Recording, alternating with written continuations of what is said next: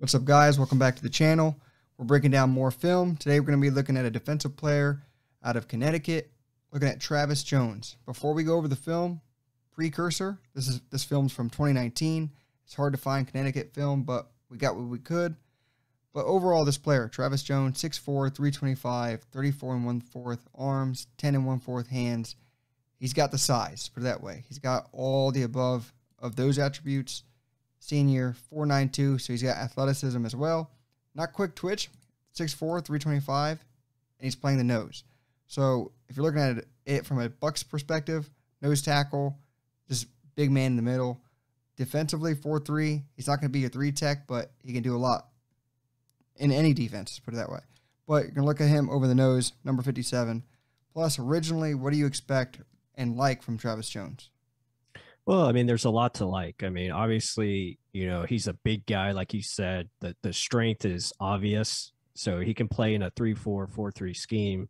So he's versatile, but he's just got a lot of uh, a lot of power to his game and a lot of things you can obviously coach up. But he's got a lot of strengths to begin with, and obviously here in the pass rush game, you know, just fighting through that block very easily, shutting him off, getting upfield, and creating a sack there. So there's a lot to base off of. I mean, here going one on one against uh, you know the guard and just find ways to get interior pressure. And I think that's very critical for teams.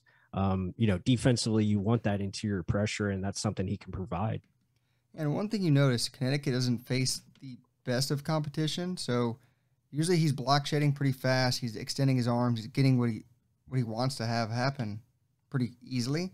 But it's how consistent is it? And you see a lot of that, like the lower base, the squatty nature, powerful arms, powerful attributes. All that is on display at all times.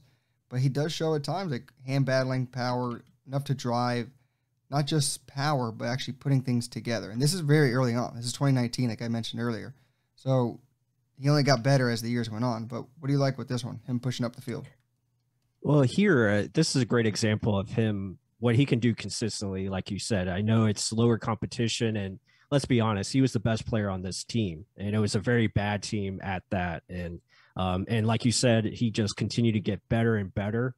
But this is something that he can do quite often, which is push the pocket and be a force in the middle of your defense. And I think that's something that's very attractive to teams. You know, here fighting up with the hand use as a swim over. And if this was 2021, he probably gets over this very fat, like quicker.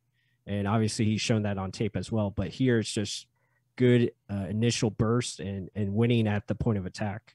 Yeah, I like the initial lateral quickness. I mean, for a guy 325, 6'4, to get out of the way of this guard, let him go over, swim over, execute that nicely, and then pop up field. I mean, he's getting dragged here even by his jersey, no holding call. Refs are always blind on these things, but this is a different angle we get. I mean, that's things you want to see, like pass rush moves executed, not just being a big brute, and because that doesn't necessarily always carry over. And then this is where he's going to benefit for the whole 11 working as one. He's occupying people. I mean, look at him take on these two guys. Look at the alleyway of this guy, free runner coming at you. So if you're looking at as a Buccaneer fan, Devin White, Lavonte David getting free alleys like Vita Vea does, and that's bringing me to my point. He can be interchangeable with Vita Vea. Do you want a true pass rusher, or do you want a guy that can help your pass rushers based off of just occupying space? So there's a lot of good things to like with Travis Jones. What do you like here? Absolutely. And and like you said, his ability to occupy space, take up double teams, that's going to be attractive to a lot of teams, not just the Bucs, but you know, around the league and his ability to push the pocket and really that's what it's about when you're talking about creating pressure. It's it's collapsing that pocket, allowing your speed rushers to get around the outside and you know, again, here just working his way upfield. Again, nice initial win off the snap, good burst be able to you know fight through and get some pressure there on the quarterback. Yeah, and it's not just speed. Look at him immediately push 75 back. I mean, he's already further back than just about everyone else on the line. He's back here, so he's doing his job, getting the inside pressure, making the job harder on the quarterback to release this ball. So I don't know what the receiver's doing here, but yeah, the quarterback's feeling the pressure coming up right in front of his face. Here he gets kind of blocked out of the play here. I mean, maybe playing a little too high because low man wins in this game. So what do you like with that one, or what do you see with this one?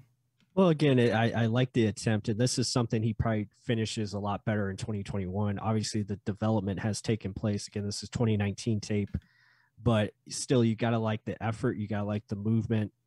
But like you said, low man wins, and he just uh, maybe gets a little too high there. Again, at six four, that's going to happen time to time.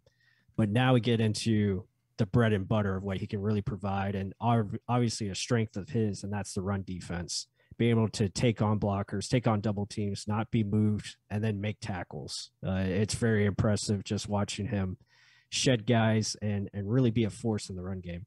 Yeah, just look at him work. I mean, like you just said, he's anchoring down, with his feet anchoring the ground. Low man's winning, staying low, occup- or absorbing this block coming in. Doesn't even phase him. Disengages and gets after the play. That's effort. That's work. That's he's going to help out everyone behind him with that the fact that he's occupying two guys like this, and then keep working. Look at all these absorbing of hits, blocks. I mean, and this is all him. Two guys right there, not going nowhere. Look at that foot grab the ground and not be moved anywhere near off his stop, off his spot, and then finds a ball carrier. You're mine. I mean, a lot of good things in the running game.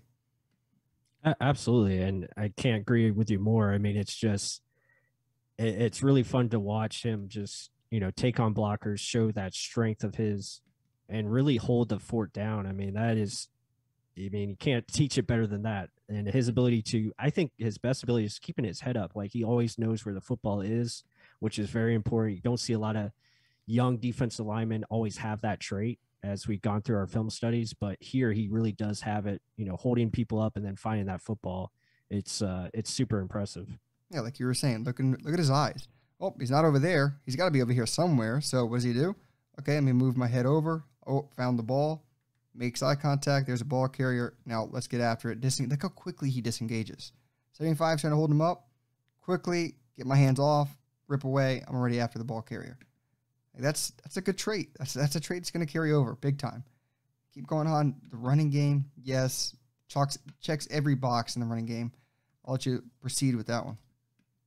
Yeah, again, it's just that initial burst, and you know they try to double him, they try to triple team him at times. It, it, it's not going to work. I mean, his ability to to split that and really, again, doesn't make the tackle, but he gets in on the play and slows the running back down. Very, very nice. Um, again, here taking on a double team, they try to you know help with the tight end. It's it's not going to work. Or is that an extra offense lineman? I don't know, but pushes the guy back um, doesn't again not making the play, but he's allowing space for others to get in there. Allows 48 to get in and make the tackle. So not only is he going to be an impact, but he's going to help your team out defensively. So individually or team, he's going to find a way to make some type of impact, and it's really nice to see. Yeah, and like you were just saying, in that last play, the guy can't hit the outside because there's nowhere to go. He's occupying two guys plus himself, 325 pounds of himself. But here it's kind of getting repetitive with the double man right here, anchoring down with the one foot and kicking back inside where the ball carrier is going. He's he's waiting as a defender. He's waiting for the running back to make a call or make the cut. Once he sees it, disengage, get after it. Like I know the Bucs defense is made to stop the run. He's almost like a carbon copy of what we like in our defensive tackle. But do we need more edge rushers? Do we need more pass rush? There's ways you can manufacture it with guys like this clogging the holes. But I mean, what does your team need? Do they need a run stuffer? This is your go-to guy. Do you need a guy who can give a little bit of pressure up the middle? This is your guy as well. Do you need an elite pass rusher? This isn't him.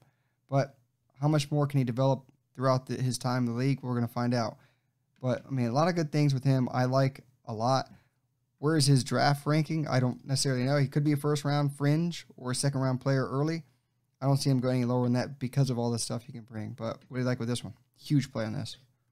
Yeah, again, and I agree with what you're, you're saying there. Again, usually you like to have you know a pass rush ready prospect and maybe teach them how to stop the run, but you're seeing more and more guys like this that can make an impact because they're so strong and so powerful, taking on blockers, and they can find ways to make your team better because they can first stop the run. So you're going to make the team one dimensional and then he can still provide some type of pass rush or at least help the team be better in that department because of the bodies that he's taken with him.